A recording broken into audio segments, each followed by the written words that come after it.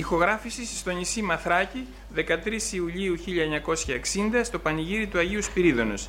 Η ορχήστρα που παίζει και συντροφεύει το χορό είναι από τους Μαγουλάδες Κερκύρας. Είναι ο Θεόδωρος Γουδέλης, αρχηγός της κομπανίας βιολί, ο Αλέξανδρος Κροκίδης βιολί επίσης 21 ετών, ο Κωνσταντίνος Μπουζακίδης ακορντεόν ετών 19, ο Γεώργιος Γουδέλης κιθάρα ετών 37 και ο Κωνσταντίνος Γουδέλης ετών 14 μαντολίνο. Παίζουν τον κερκυραϊκό χορό.